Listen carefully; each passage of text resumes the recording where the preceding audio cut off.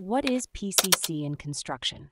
If you're working on a construction project and you've come across the term PCC, you might be wondering what it stands for and how it's used. Let's break it down. PCC, or plain cement concrete, is a fundamental material in construction. It's a mixture of cement, water, fine aggregates like sand, and coarse aggregates such as gravel or crushed rocks. This combination creates a strong and versatile concrete that can be molded into various shapes and sizes. To make PCC, you start by mixing the dry ingredients, cement, sand, and aggregates, together in the right proportions. Then, you slowly add water while mixing on low speed. The entire mixing process should not take more than 10 minutes. This mix can be prepared either on site or in a batch plant. The ratio of these components can vary depending on the project. For example, if you're building a sidewalk, you might use less fine aggregate compared to a driveway.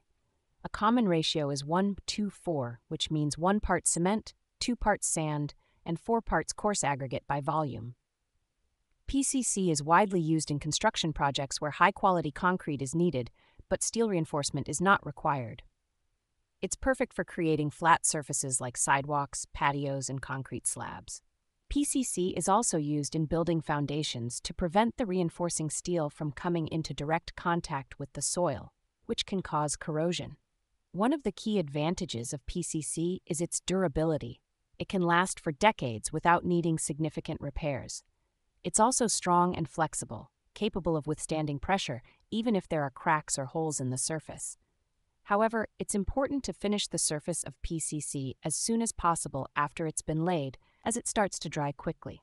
When laying PCC, it's important to do so in layers not exceeding 150 millimeters in thickness.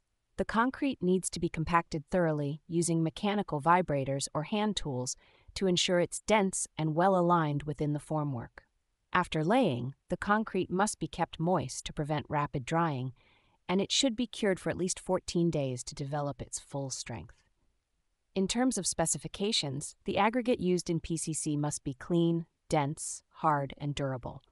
For instance, coarse aggregate should be free from dust and other foreign matters and fine aggregate should be sharp and angular grains that pass through a 5 mm square mesh. The cement used should be fresh and meet standard specifications. PCC is an essential component in many construction projects due to its strength, durability, and ease of use. Whether you're building a new home, a sidewalk, or a driveway, understanding what PCC is and how it's used can help you make informed decisions and ensure your project turns out strong and lasting.